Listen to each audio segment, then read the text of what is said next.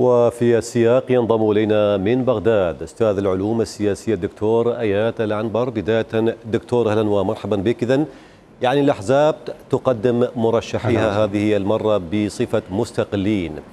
هذه الحركة هل ستنطلي أو ستمشي على الناخبين؟ برأيك؟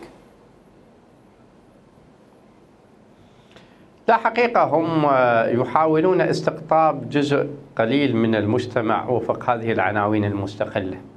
لأن الأحزاب تدير الانتخابات وفق ماكينة انتخابية ووفق استقطاب الزبائن فهي لا تستقطب هذه الشخصيات الكثير من الجمهور ولكن قد يكون هنالك نوع من محاولة تغيير الوجوه من خلال عناوين مستقلة أو من خلال عناوين لم تستهلك في العملية السياسية وهذا نوع من المراوغة قد تلجأ إليه الكتل السياسية. لكن تعويلها بالدرجة الأولى والأخيرة هي على زبائنها السياسيين وعلى المرشحين التابعين لها.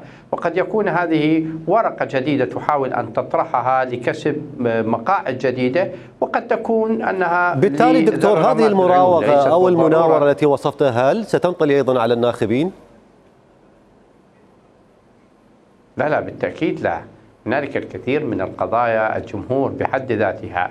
المشكلة ليست في قضية المرشح وعلاقته في الناخب. هذه المشكلة أصبحت جزئية من جزئية العملية الانتخابية وثقة الجمهور بالانتخابات. لأن الانتخابات على مستوى النتائج والمخرجات ليس هي من يتحكم بالمشهد السياسي والعملية السياسية. من يتحكم بالمشهد السياسي هم زعماء الأحزاب رؤساء الكتل ومن ثم المواطن بات يدرك أن العطب الرئيسي أو المشكلة الأساسية لا تتعلق في من ينتخبه وإنما بتمشية الأمور وفق مزاج الزعامات ومصالحهم وارتباطاتهم ومن ثم المشكلة في القناعة بالانتخابات بغض النظر عن تفصيل هذا الشخص وذاك الشخص من ينتخبوه. وهذه هي المشكلة نعم. الأساسية التي تقف عائقا أمام الرغبة في المشاركة في الانتخابات. نعم. أيضا دكتور يعني ربما هذه المرة وهذه المرة هي الأول الأولى من نوعها يعني هناك بعض الغموض في مشاركة حجم المشاركة الناخبين في الاقتراع المقبل. ما هي توقعاتك؟ يعني حقيقة 2018 كانت نسبة متدنية جدا لولا التصويت الخاص وأن هنالك شبه يعني تعشيد بهذا الموضوع لكانت نسبة المشاركة الجمهور متدنية جدا.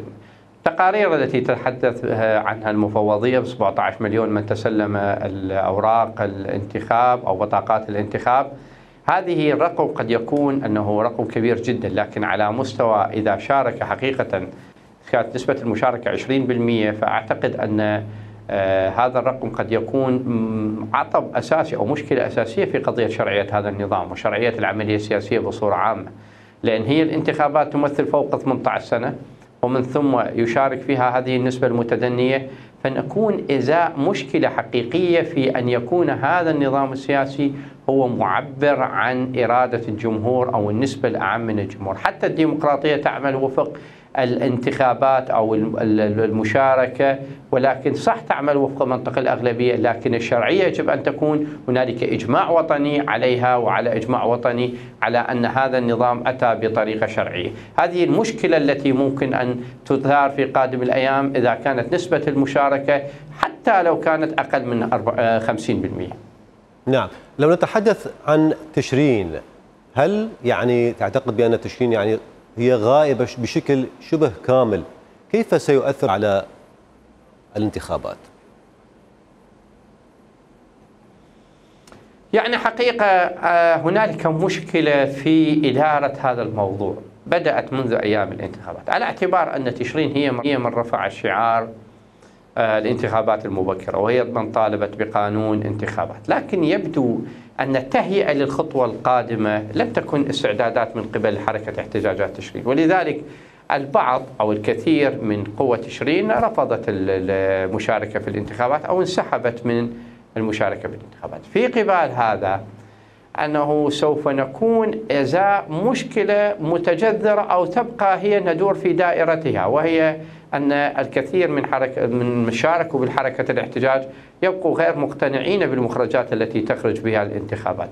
وهذه المشكلة سوف قد تعود نفس المشهد الذي حدث في 2019 ونبقى في دوامة عدم الاستقرار السياسي. على اعتبار نعم. أن ال- النظام كما تحدثت قبل قليل أنه سوف يكون هنالك خلل في شرعيته على مستوى إجماع بأن الانتخابات لم تأتي بنتائج كما يتوقعها المواطن. لكن أعتقد هذا الموضوع سوف يكون أكثر تطورا في قادم الأيام باعتبار أن الكثير من ال- الجمهور لم يشارك في الانتخابات. نعم أستاذ السياسي الدكتور إياد العنبر شكرا جزيلا.